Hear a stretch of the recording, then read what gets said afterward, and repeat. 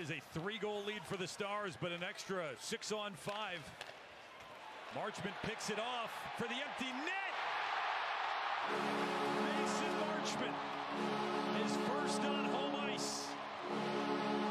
And it's the exclamation point on opening night.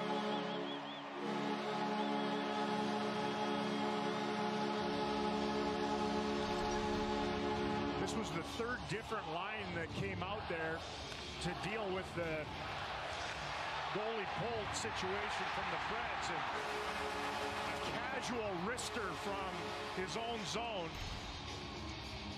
to bump it